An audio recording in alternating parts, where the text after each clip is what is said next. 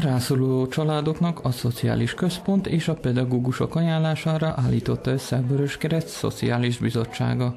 Minden iskolában legjobban rászorulók megkapják ezt a tanszercsomagot.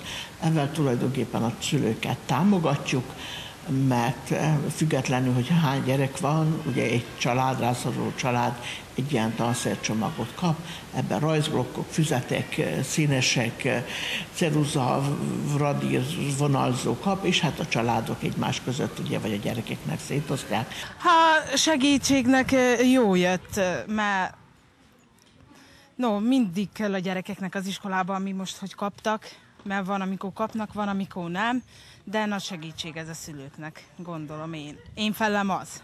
Jelenleg mintegy ezer gyermek és 250 felnőtt tagja van a Vöröskeresztnek községi szinten.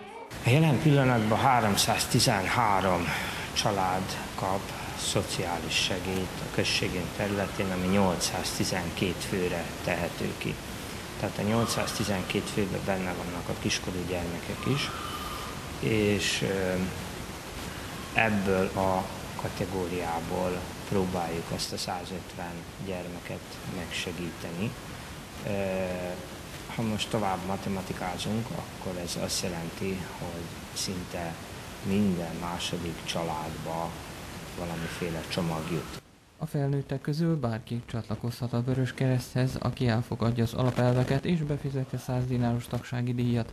A gyermekek számára ez 50 dinárba kerül egy évre.